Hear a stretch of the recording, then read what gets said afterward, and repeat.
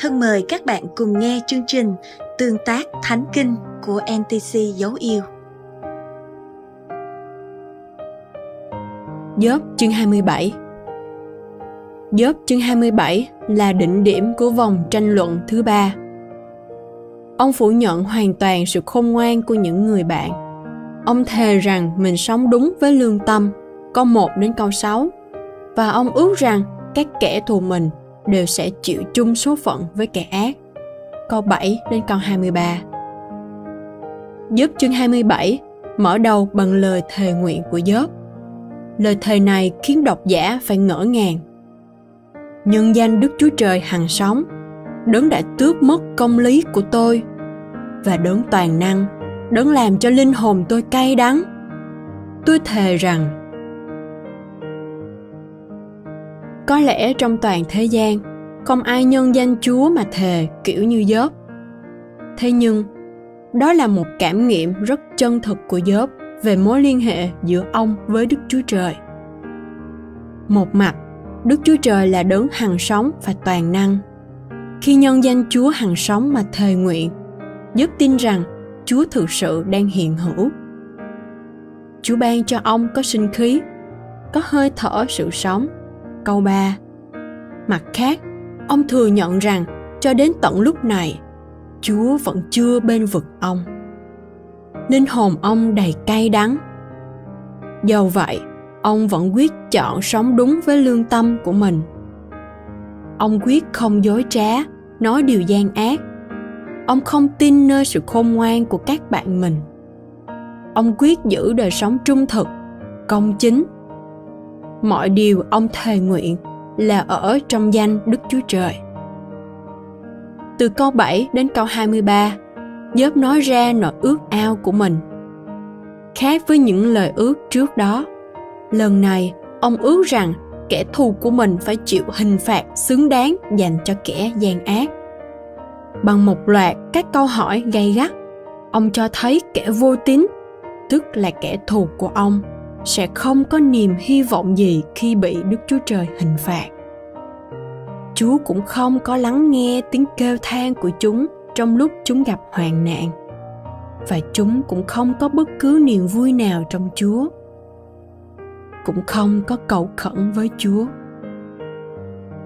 Kế đến, ông dạng dĩ nói ra những lời dạy dỗ các bạn mình về quyền năng và ý định của Đức Chúa Trời. Ông tin rằng Đức Chúa Trời có kế hoạch hình phạt kẻ ác. Dù cho hiện tại kẻ ác có thịnh vượng, giàu có, dòng dõi đông đúc, thì mọi điều đó sẽ bị tiêu hủy trong chiến tranh, dịch bệnh, thiên tai. Mọi tai vạ đó sẽ ập đến thình lình và nhanh chóng hủy diệt mọi thứ thuộc về kẻ ác. Gióp chương 27 cho thấy lòng tin quyết của Gióp đặt nơi Chúa ông nhận biết kế hoạch của chúa dành cho kẻ ác. Tuy nhiên, ông vẫn chưa nhận được sự bày tỏ của chúa về hoàn cảnh của ông. Dù hoàn cảnh có ra sao, ông vẫn quyết chọn nếp sống đúng chứ không buông xuôi. Đức tin của ông dần được nuôi dưỡng trở nên mạnh mẽ hơn trong hoàn cảnh đau thương. Câu hỏi suy ngẫm bạn nghĩ đức tin của mình nơi chúa có thể được phát triển mạnh mẽ trong hoàn cảnh sống như thế nào?